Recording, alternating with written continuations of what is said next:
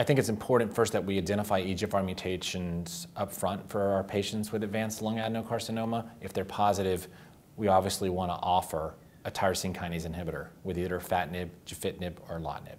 What we've seen from all of these uh, agents is that they improve response rates, progression-free survival, and importantly, quality of life versus chemotherapy. Anytime I'm talking to a patient, I always integrate a quality of life discussion about in the context of what therapy I'm giving them. So these three drugs all have uh, superiority over chemotherapy, um, but they have some toxicities, and I think that's important that the data would suggest that they improve quality of life versus chemotherapy, but they have associated toxicities that we also need to consider when we're also considering improving the quality of life. Uh, and the most common toxicities that we see with these tyrosine kinase inhibitors are rash and diarrhea. Um, and, and some of these can be profound, uh, where we really have to be aggressive in the management.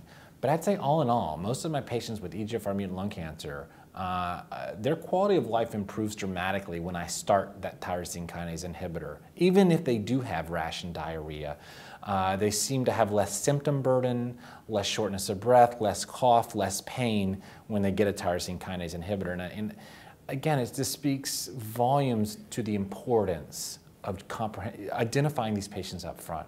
You have to do the testing. You can't give the drug unless you identify the mutation. You can rest assured if you identify the mutation, you can improve their quality of life, even if they have some toxicity with the drug, by delivering a TKI. So I think the message here is these drugs work. They're better in terms of tolerability. They're better in terms of quality of life than chemotherapy, uh, but you can't get it unless you have the mutation. If the patient already has a EGFR mutation, then um, for sure we have already multiple studies that show that the, the best choice is a tyrosine kinase inhibitor instead of chemotherapy. So we don't use chemotherapy any, any longer. And among the options, you have three FDA-approved tyrosine kinase inhibitors in America, and um, there is one more approved overseas and you have to make your choice of, of, what's the best agent based on this. Most of the doctors consider these three agents uh, similar, and there is maybe difference in toxicity. And based on that, or based on your own experience, we make the choice of which one is the one that you want to use. Um, it will be misleading to say that one is better than the rest, and uh, or one is inferior than the rest. Uh, for example, uh, the oldest one, gefitinib, they use a dose that is um, not is far from the maximum toxic dose, so they give us the sensation that is the one that is easy to tolerate. There is less diarrhea, less rash.